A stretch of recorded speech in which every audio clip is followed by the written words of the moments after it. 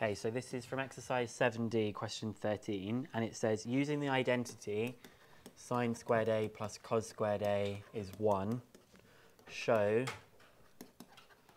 that sine to the power of 4a plus cos to the power of 4a is equal to a half 2 minus sine squared 2a. So I'm not sure what I think is going to be the best way of approaching this one. Um, did anyone do this one and have a good starting point that we could share?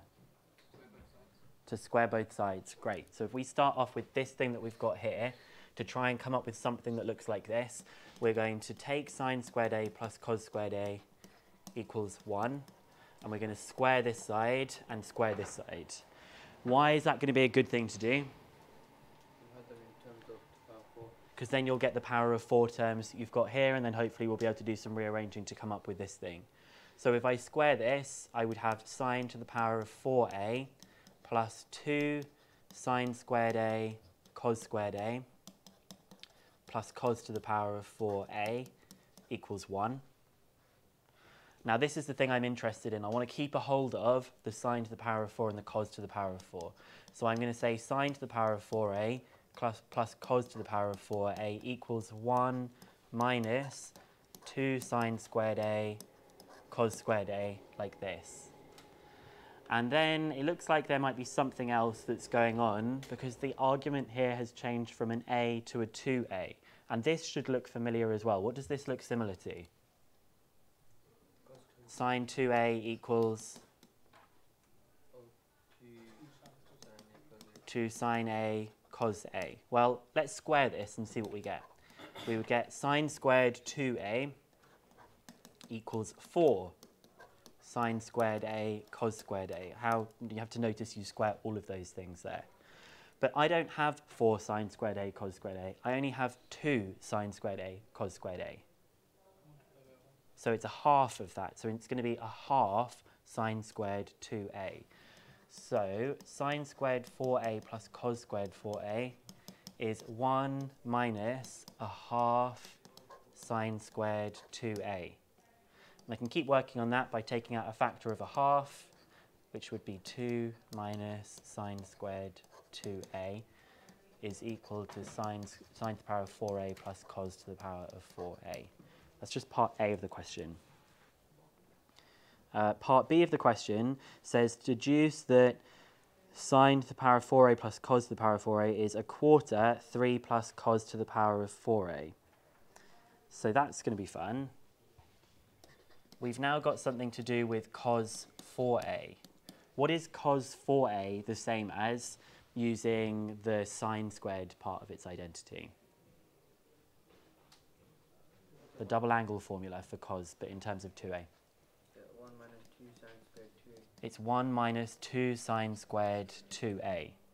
That's the same as the double angle formula for cos, but instead of it being a 2a, it's a 4a. So instead of this being an a, this is a 2a. And we've got something that looks a little bit similar to that. Do we have something similar to that? Um, not really.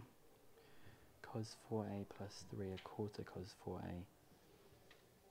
So we could actually now take this information. They want us to show that this is the same as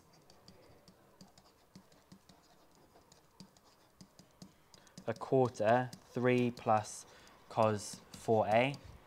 So if I wanted to do it in a slightly easier way, I could actually just substitute what cos of 4a is using this and hope that it comes out as the same as this thing that I've got here. That would also show that they're equivalent to each other. So I've got a quarter 3 plus this, which is 1 minus 2 sine squared 2a.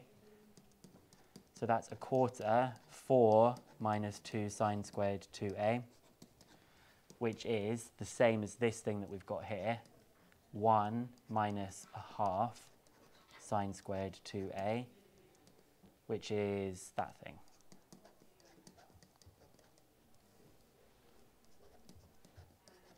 So because I have showed that this thing is also equal to this thing, it's the same idea of actually um, trying to show that those things are all equal to each other.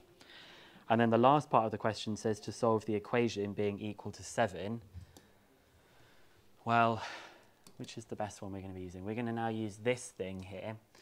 So for part C of the question, we're trying to solve 8 sine to the power of 4 theta plus 8 cos to the power of 4 theta equals 7. And we're going to use this bit here that we highlighted in yellow. So what do you think I can replace this left-hand side with using this fact that I've got here? I'm going to times this by 8, so I'll times this by 8, and a quarter times 8 is 2. So it is 2, 3 plus cos 4 theta equals 7. And then we just finish by solving the equation by dividing by 2.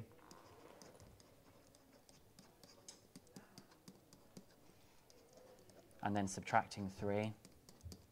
And then proceeding with solving the equation from there. It's a tough question. Um, there's a lot of stuff that's going on in this kind of thing. Uh, but it's just kind of good to see like what is the, what's the ceiling of, of the kind of stuff that you might be expected to do in these kinds of things that we have here. Okay? And when it gave you the hint in the question to start, start by squaring sine squared plus cos squared a. For part B of the question, I was a bit sneaky and I used the thing that they'd given me and I changed that to get the thing that I already had rather than working on that thing to make it look like this. I worked on that thing to make it look like the other. Okay?